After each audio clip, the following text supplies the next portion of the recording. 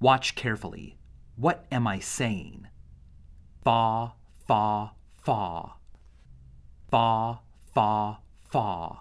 It sounds like I'm saying thaw, but here's what my mouth is really doing. Ga, ga, ga. Ga, with a G. ga, Except I took ga. that audio away and replaced it with the sound of myself saying fa with an F. Fa, if you close your eyes or look away, you will hear the correct sound, fa. But if you watch, you will hear thaw. Fa, fa, fa.